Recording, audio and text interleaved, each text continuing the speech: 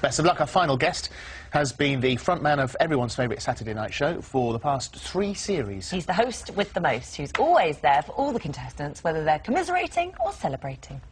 You right? Why are you upset? Do you think they've made a mistake? Yes, I do. Cannot strike people. I don't care what the people I'm all right. I just heard this.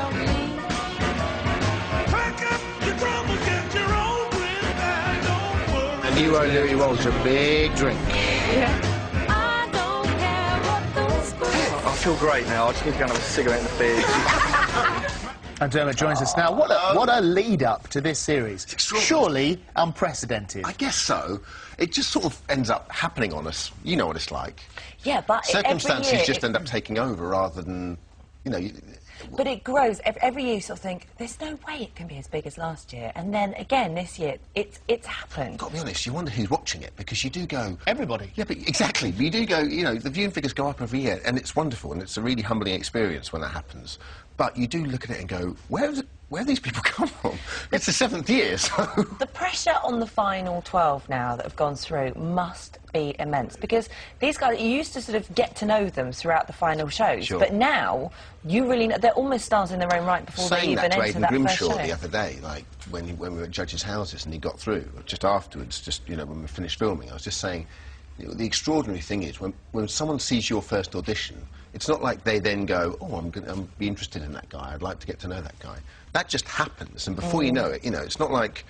You know, a few people see him and then the viewing figures build and so forth. He becomes an overnight star like that. And then it's up to him, obviously, to sustain that. What about the controversy this uh, this year? Um, uh, I suppose you've got to sort of toe the party line and be quite careful what you say. But 40,000 people joined a Facebook campaign saying that, uh, that the, the dismissal of Gamu was a catastrophe. And we read in the papers every day the story seems to change um, whether or not there have been issues within the family or not issues within the family. And you don't think what's true or what's not the sad true. thing, of course, is is you know what's going on with her externally, and, and you know, and, and we're just trying to give her as much support as we possibly can. But I think people have to understand that up to the point that we get into the studio, the show isn't a democracy. Do you know, the, the judges make those decisions, and you know what Cheryl and Dannii especially are like. You know, no one puts words in their mouths, and they make the decisions, you know, based on who they think best represent them in the final, and and they've done that. When they, when you saw um, Cheryl's final three, her, the choice that she'd made, did you sort of go, hmm, You know that. You know what always happens when you go to the judges' houses is you.